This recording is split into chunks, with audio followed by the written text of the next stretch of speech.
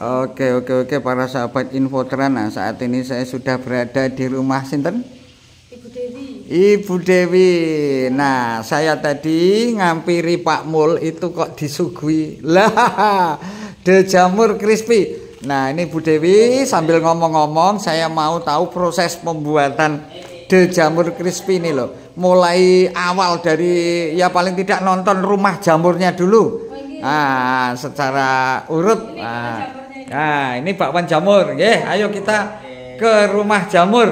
Wah, jan ini.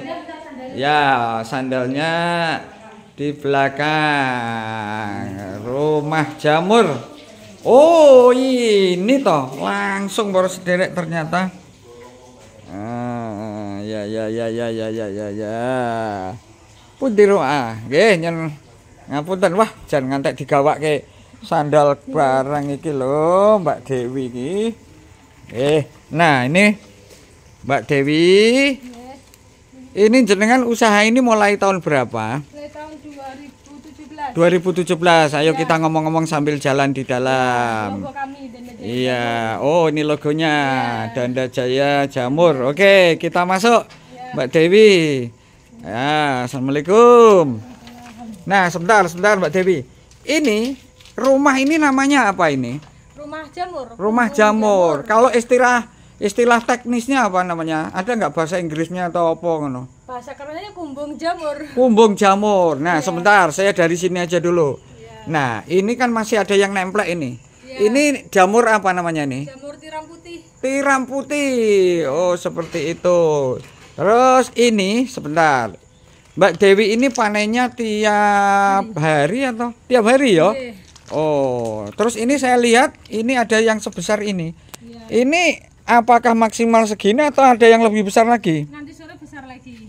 Oh, ini panennya tiap sore atau pagi atau malam atau? Sore. Oh, tiap sore. Nggih. Jam berapa panennya Mbak Dewi? Habis maghrib. Habis maghrib, Bah. nanti suatu saat nanti habis maghrib saya lihat panennya ya Mbak Dewi ya.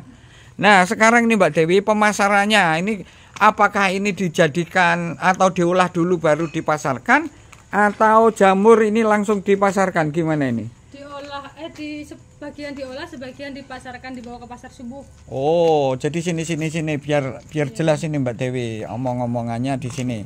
Nah semacam ini coba coba Mbak Dewi. Oke oke oke oke oke oke.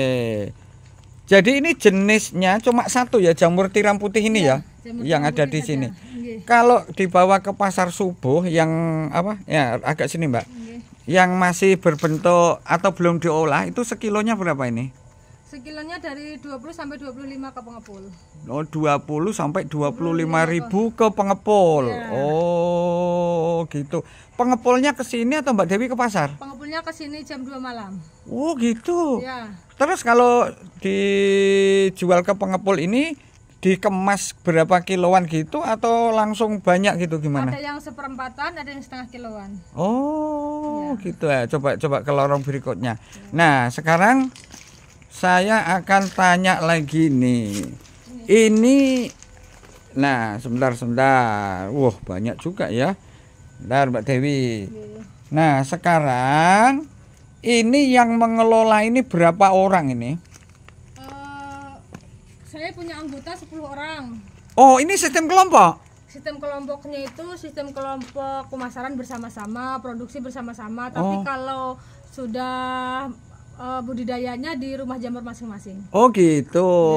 Oke, oke. Kalau ini sekali panen ini biasanya berapa kilo nih, Mbak Dewi? Nggak pasti ya, kalau lagi musim-musiman kadang bisa sampai 10 kilo. Oh gitu. Oh gitu dia. Jadi tadi kalau kalau eceran berapa sekilonya? Kalau eceran kalau dari sini harga 25. Kalau 25 ya. Orang ke Danda Jaya. Oh. Pas di luar sana, 25 ya, 25 ribu per kilo ya Mbak. Iya. Oke oke oke oke. oke. Nah sekarang saya saya tanya ini Mbak Dewi. Ya. Kalau sudah diolah, nah ini apa iki? Jamur. Olahannya ini yang Mbak Dewi kelola ini berupa apa? Jamur sampai saat ini jamur crispy sama bakso jamur. Oh, jamur crispy sama bakso jamur. Iya. Oke, oke, oke, oke. Sebetulnya selain dua itu apa aja yang ini bisa diolah menjadi apa aja nih jamur? Sebenarnya bisa diolah menjadi nugget, Nugget, sate jamur. sate. Sate jamur bikin kalau ada pesanan aja. Oh, gitu ya. Luar biasa. Nah, sekarang saya tanya ini, Mbak. Ini kan kayaknya ini ada proses nih pembuatan yang untuk tukulnya jamur ini apa namanya ini? Backlog, Back clock. backlog. Lah, ini yang bikin siapa ini itu? Yang bikin saya dan anggota kelompok. Oh, gitu. Di mana bikinnya? Ini Oh, di sana. Iya. Ayo, ayo coba coba prosesnya gimana? Nah. habis dibibit ini Pak. Ah, Ini yang baru habis dibibit ini. ini sudah dibibit. Iya. Artinya jamur itu memang ada bibitnya ya? Ada iya ini satu setengah bulan baru siap panen. Oh, berarti seperti tempe itu kan ada bibitnya. Inggih ya. Terus seperti apa meneh kayak tape barang. Inggih. Oh, lah terus itu apa ini kok kayak untuk adang apa Buat gitu? Nyterilisasi atau pengukusan Pak. Pengukusan atau sterilisasi ya? Oke, oke. Nanti untuk prosesnya nanti lain kali aja lah. Yang penting Oh, saya siap. tahu. Mm-mm. Sebelum ini gimana nih? Kok ini kan sudah dibungkus ini? Iya. Ini sudah steril ini ya? Sudah ini tinggal nunggu satu setengah bulan aja siap panen ini Pak. Oh, jadi ini bibit sudah di dalam ya? Sudah. Oke oke oke oke oke. Oh. Ah, dari dari pe, apa pemberian bibit sampai panen tuh usianya berapa bulan itu? Satu setengah. Satu setengah bulan. Iya. Oh. Terus sebelum ini ke mana ini? Se- Sebelum ini kemarin diproduksi mulai dari pengayakan. Oh, di mana itu Di produksi? sini peng- juga. Oh, di ruangan ini? Iya. Oh. Masih minim pro- ini tempat produksi. Oh, harusnya harusnya lainnya tempatnya lain harusnya Harusnya ya. lain, harusnya lain. Oke oke oke. Iya. Nah sekarang oke lah. Ini untuk jamur sudah saya anggap sudah. Sekarang saya mau tahu tadi yang kemasan tadi. Ayo kita ke sana lagi. Ya yang kemasan tadi gimana kok? Kok bisa kemasannya bagus tuh loh Mbak Dewi? Aku yuk siapa tahu apa jenenge masyarakat eh, warga trans seluruh Indonesia ini terinspirasi mau ikut-ikutan membuat seperti itu kan. Nah, mana ini kemasannya tadi? Oh, ini ya. Ya, ya kita tengok-tengok di sana di depan aja, Mbak. Wah, luar biasa ternyata Pak Mul. Hmm, nah ini loh. Sekarang ini Mbak Dewi, ya sambil tengok-tengok. Ini kan sudah dikemas bagus seperti ini. Iya. Ini itu yang bina dari mana? Siapa atau dari dinas mana atau dari instansi mana kok? Api kaya ngono kuwi. Ini yang bina dari BRI, Pak. Hah? BRI. BRI Bank Rakyat Indonesia. Iya. Oh, terus tenaga pembinanya dari mana? Tenaga kemarin itu ngikutin ini apa? Pelatihan? Ngikutin pelatihan. Oh, di mana pelatihannya? Pelatihan ini kemarin waktu yang packaging ini itu langsung dari Bandung. Oh, di mana tempat pelatihannya? Waktu itu masih yang Zoom online itu, Pak. Oh, Pak mm, Yum. Oh. Jadi Kak, ikut pelatihan itu seluruh anggota kelompok atau Mbak Dewi sendiri? Saya sendiri ketua klaster jamurnya aja. Oh, jadi nanti sampean menyampaikan kepada anggota gitu ya? Ya. Oh, terus yang mendesain ini siapa ini? Yang mendesain apa gambar-gambarnya ini siapa ini? Narasumbernya waktu pelatihan. Oh, mungkin untuk untuk tugas ya. Nggih. Ah, tugasnya langsung dipraktekkan itu ya. Iya. Oh, terus ini ke- untuk kemasan pesannya di mana kok Di bagus? Bandung. Oh, di Bandung. Iya. Oh, bagus juga ya.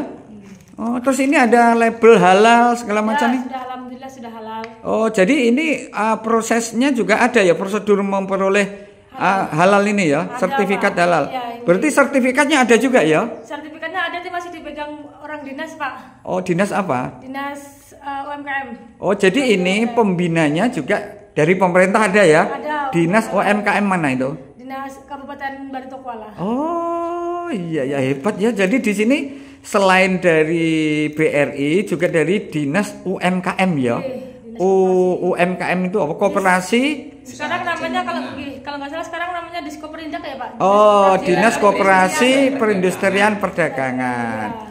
Oke, oke, oke. Sering kunjungan ke sini ya orang uh, disko perindaknya.